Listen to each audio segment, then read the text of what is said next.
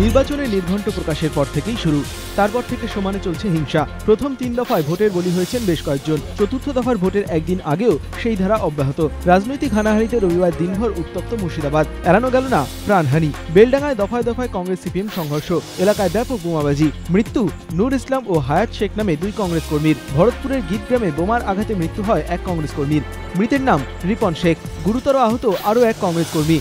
জেলা কংগ্রেস সভাপতি অধীর চৌধুরীর অভিযোগ, হামলার আশঙ্কার কথা জানানো হয়েছিল পুলিশকে, কিন্তু ব্যবস্থা নেওয়া হয়নি। তার দাবি, সিপিএম ছেড়ে তৃণমূলে যোগ দেওয়ার দুষ্কৃতীরাই হামলা চালাচ্ছে। যদিও ঘটনায় সিপিএম এর কেউ জড়িত নয় বলে দাবি সিপিএম বিধায়ক আনিসুর রহমানের। তৃতীয় দফার ভোটে রাজনৈতিক হিংসায় উত্তপ্ত হয়েছে ক্যানিং, গোসাবা বাসন্তী সহ দক্ষিণ চব্বিশ পরগনার বিস্তীর্ণ এলাকা। হিংসা কেড়ে নিয়েছে কয়েকটি তরতাজা প্রাণও। ভোট মিটলেও চলছে সেই সন্ত্রাস। বাসন্তীর নির্দেশখারিতে আরএসপি সমর্থকদের চল্লিশটি বাড়িতে ভাঙচুর ও আগুন। কয়েকটি বাড়িতে লুটপাট করা হয় বলেও অভিযোগ। দুষ্কৃতীদের ছোড়া বোমার আঘাতে জখম এক শিশু। আরএসপি নেতা সুভাষ নস্করের অভিযোগ, হামলার জন্য গোসাবা তৃণমূল বিধায়ক জয়ন্ত নস্কর হুইপ জারি করেন। যদিও অভিযোগ অস্বীকার করেছে শাসক দল। তৃণমূল বিধায়কের পাল্টা দাবি, বাসন্তীতে আবার সন্ত্রাস করছে আরএসপি। এবং সিপিএম দুষ্কৃতী তাণ্ডবের পর এখনও আতঙ্কে নির্দেশ খালি। কার্যত পুরুষ শূন্য গোটা গ্রাম, চলছে পুলিশের টহল। বিহারের ছাপড়ায় মিড ডে মিলে বিষক্রিয়ায় মৃত্যু হয়েছে তেইশ শিশুর মৃত্যুর সঙ্গে পাঞ্জা করছে আরও কয়েকজন। এই ঘটনার পর প্রশ্ন উঠতে শুরু করেছে মিড ডে মিলের খাবারের মান নিয়ে। এই পরিস্থিতিতে কলকাতায় প্রায় অর্ধেক দামে নিলামে বিক্রি হলো মিড ডে মিলের চারশো কুইন্টাল চাল। কারণ গুণগত মান খারাপ। এই চালই নাকি শিশু পড়ুয়াদের দুপুরের খাবার। সরকারি নিয়ম মেনে গত বছর এফসিআইয়ের থেকে কয়েকশো কুইন্টাল চাল কেনে কলকাতা সর্বশিক্ষা মিশন। বন্টনও হয় কয়েকটি স্কুলে, কিন্তু কয়েকদিন পরে চালের মান নিয়ে নানা অভিযোগ আসতে শুরু করে সর্বশিক্ষা কর্তৃপক্ষের কাছে। অভিযোগ, ওই চালের ভাত খেয়ে অসুস্থ হয়ে পড়ে কয়েকজন শিশু।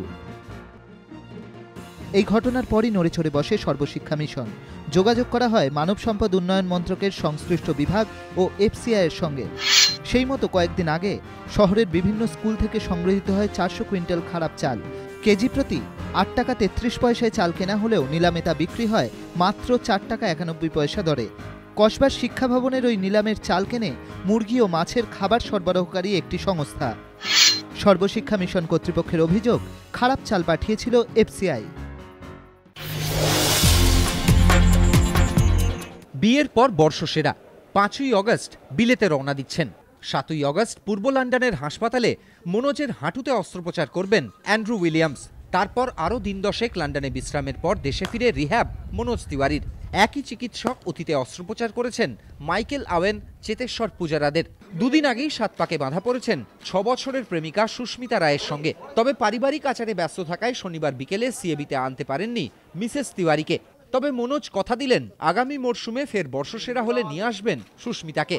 জানালেন চলতি সপ্তাহটা তার জীবনে অনেক কারণেই স্মরণীয়। বছর শেষে ভারতের দক্ষিণ আফ্রিকা সফর, তার আগে কি ফিট হয়ে উঠতে পারবেন? সময়কে হার মানিয়ে দ্রুত ব্যাট হাতে ফেরাই মনোজের পরের টার্গেট।